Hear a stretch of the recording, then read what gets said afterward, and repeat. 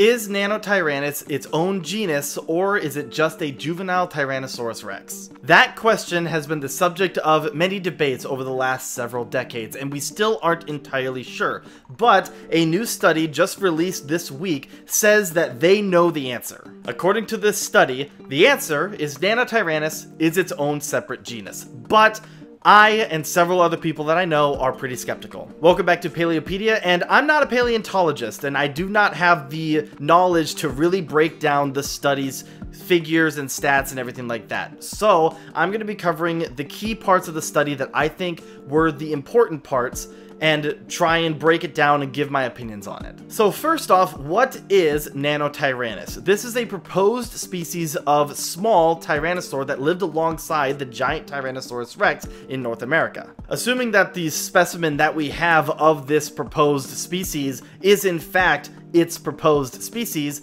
and it is an adult like it's been hypothesized, this animal only got up to about 16 feet in length and maybe a couple thousand pounds. It was a relatively small tyrannosaur. Again, that's assuming that it is in fact its own species. Most of the evidence that is generally accepted right now says that this specimen is a juvenile Tyrannosaurus rex. So let's break down the study saying why it thinks that Nanotyrannus is its own separate genus. The study starts off by breaking down the diversity of tyrannosaurs themselves. Basically, the study says that as tyrannosaurs achieved dominance in the northern hemisphere and diversified, we start finding multiple large species of tyrannosaurs in the same region at the same time. Examples include the Dinosaur Park Formation in Canada, with Gorgosaurus and Daspletosaurus being found coexisting together, alongside formations in Mongolia suggesting that Tarbosaurus and its smaller cousin Alioramus also lived together. The study then goes on to point out that before the Tyrannosaurs, there were Abelisaurs that were also living together at the same time. Like in North America, there was Marshosaurus, Torvosaurus, Allosaurus, and Ceratosaurus, with Ceratosaurus, Torvosaurus, and Allosaurus also living together in Asia and rapidly diversifying. You can even compare that to more recent ecosystems when it comes to mammals. Although mammals are smaller, it's still kind of similar. For example, in North America during the Pleistocene epoch, there were giant mammalian predators like Smilodon, direwolves, cave lions, and even cheetahs living alongside one another. Pumas and jaguars as well were also living alongside these big predators, and we even see that today in Asia and Africa with tigers, hyenas, lions, leopards, and cheetahs all living together throughout their environmental range. And before you come at me, yes, lions and tigers do not live together, but lions and tigers live alongside other large predators like hyenas. There's even comparisons in this study to marine environments, especially prehistoric marine environments, like with Megalodon and the giant whale Leviathan living alongside one another. Today we have orcas and great white sharks living alongside one another. And back during the dinosaur age, there were mosasaurs, pliosaurs, ichthyosaurs, all big predators living alongside one one another. But when it comes to Tyrannosaurus rex, we're not really seeing another larger predator living alongside it. And the study is pointing this out and saying that that doesn't line up with the overall trend that we see prior to Tyrannosaurus rex and even today. In essence, the study says that Tyrannosaurus rex might have been the largest predator of its time, but it doesn't make sense that it would have been the only large predator for its time. The study then goes on to point out morphological differences between the skull specimen of the proposed Nanotyrannus with Tyrannosaurus rex comparisons, and pointing out around 158 differences in between them. I don't have the knowledge or time to really dive into it, but here are some visual comparisons that the study uses to make its case. Here, the study is saying that there's a lot of morphological differences between the proposed Nanotyrannus specimen and Tyrannosaurus rex specimens that they compared it to that don't really line up with known juvenile Tyrannosaurus rex specimens when comparing to adult specimens. The study says that if this Nanotyrannus specimen is in fact a juvenile T-Rex, why are we seeing differences that don't really line up with other T-Rex juvenile specimens. Now, a really solid counter, in my opinion, to this is that juvenile Tyrannosaurus rexes are morphologically really, really different to their adult counterparts. I talk about this in a previous video, specifically this video, where I point out that juvenile T-Rexes are long and lanky and seem fast and agile, whereas as adults, they're really robust, really bulky, and built more for power and fighting other large herbivores. Thomas Carr, a paleontologist in 2020, found 1,800 morphological differences between juvenile T-Rexes and their adult counterparts. And the fact that this study only lists 158 morphological differences between their proposed Nanotyrannus specimen and Tyrannosaurus rex specimens kind of a big red flag there. Basically, there is a huge growth variation in juvenile T-Rexes as they progress into adults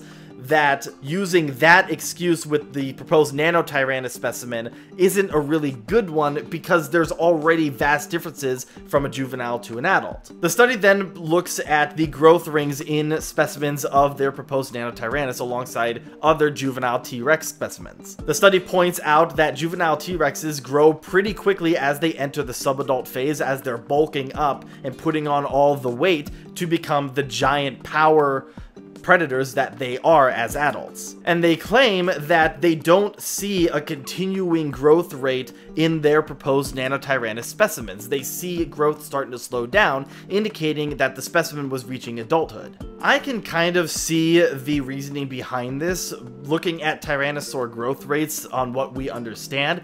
T-Rex itself has a really big growth rate as it is the largest of the Tyrannosaurs and really bulks up as it matures. But the problem with this is that we still need to widely accept a specimen to be a Nanotyrannus specimen that is definitely not a Tyrannosaurus rex, and that Nanotyrannus specimen has to be an adult to really make sure if this is actually what's going on with the specimens that the study used. From what I can tell, that's a pretty simple breakdown of the evidence that the study proposes to support the idea of Nanotyrannus being its own genus. But as I said, I am not a paleontologist and I'm not knowledgeable enough to really look into the details of the study. I can only try and break it down for you guys so you can understand to some degree what the study's trying to say. Now, regarding the study itself, I am a little skeptical about its findings for multitudes of reasons. First, it's generally accepted that the Nanotyrannus specimen, or proposed Nanotyrannus, is not its own genus. It is a juvenile specimen of a Tyrannosaurus rex. But generally accepted evidence doesn't necessarily mean that is the correct evidence. That's what science is all about, is bringing forth new evidence to either support or refute current beliefs. But that's part of why I'm a little skeptical, because it is generally accepted that Nanotyrannus is just a juvenile T-Rex. Secondly, the strongest argument for me regarding a second smaller tyrannosaur living alongside Tyrannosaurus rex is the fact that in previous ecosystems and current ecosystems, there are multiple large predators living together at the same time. As the study points out, Tyrannosaurus rex, being the sole large predator in its environment, is kind of the outlier instead of the norm when it comes to these large theropods. But the counter to this argument that I have heard before is that T-Rex, as it grows, as I've already mentioned, shows a vast morphological change from a juvenile to an adult, where the juveniles are small and lanky and fast and agile, whereas the adults are big, powerful, hefty, robust, built for large herbivores. The hypothesis is the juvenile T-Rexes are filling an entirely different niche of their environment and then they transition into the niche that the adults fill of top predator. And when you look at a juvenile T-Rex versus an adult T-Rex, you can see the support behind that argument that it just fills all the niches of a bigger predator as it grows. Then when it comes to the study's ideas of morphological differences, I've already pointed out that another paleontologist had identified over 1,500, up to 1,800 differences between juveniles and adults when it comes to Tyrannosaurus rex. So just identifying 150 morphological differences doesn't really do a whole lot. All in all, based on the response I have seen from other well-known paleontologists who have looked into this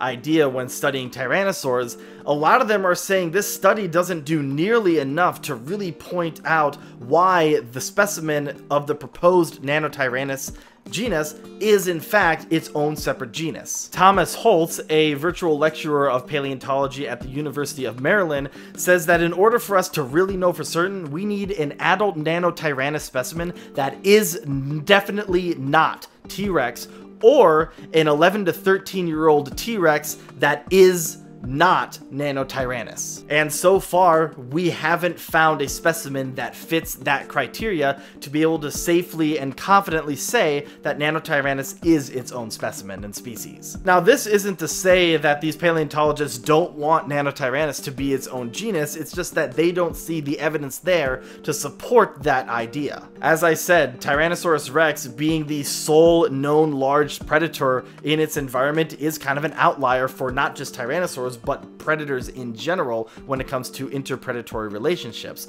But until we find more evidence to support the idea that Nanotyrannus is in fact its own genus, the question still remains.